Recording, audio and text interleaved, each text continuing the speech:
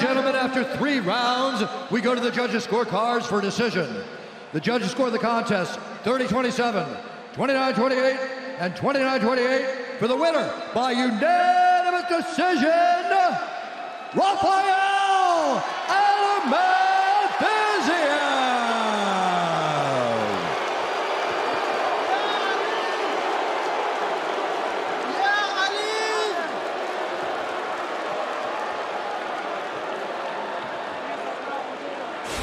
Ladies and gentlemen, I'm here with Rafael Fiziev.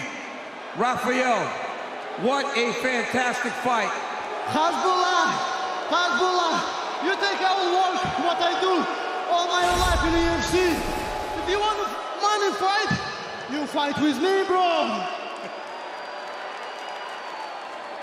You and Bobby Green blew the roof off of this building.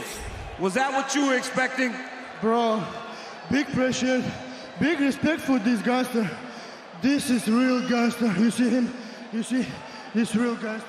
Bro, you are the champ. Is that what you expected from Bobby? That type of fight, that type of pressure? Bro, you see my face? How many times here I eat jab, I eat another punch. He's a gangster. It's, it's not hard. No, not easy fight, like I said before, yeah? Yeah. Well, congratulations on the fantastic performance. Ladies and gentlemen, Rafael Fiziev.